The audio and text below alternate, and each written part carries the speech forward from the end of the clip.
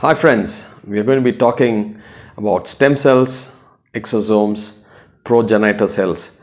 It's a series and we are going to start from the eye, how it affects, how it improves the eye function in various conditions.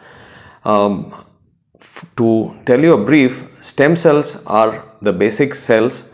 There are different types of stem cells embryonic stem cells, adult stem cells, progenitor uh, stem cells. So they are in between the embryonic and adult uh, cells. They can be derived from various uh, areas. It could be adipose tissue, from umbilical, umbilical cord that is commonly known, from the dental pulp. It can be taken from the blood, from bone marrow, from tissue, from skin, fibroblasts. It can be taken. All parts of the body have stem cells, and that is why we are living. If stem cells were not there in our body, we would not be surviving at all.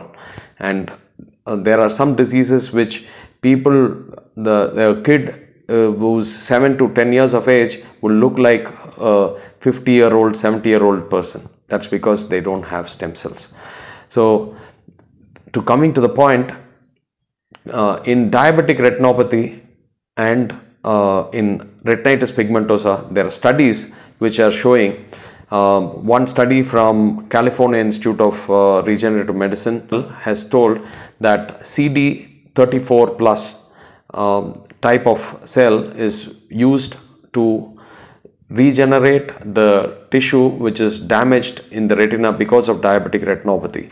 So the lost damaged tissue um, has been replaced and that also improves the blood flow. Restoring the blood flow is also seen in uh, the retina. So these studies have proved that um, the visual function potential has improved. So stem cells are being used in a wide variety of areas and in the eye for diabetic retinopathy, for macular degeneration, for uh, retinitis pigmentosa, macular dystrophies, optic atrophies. It is being used. For more details, contact us at Dr. Sasi Eye Care. Thank you.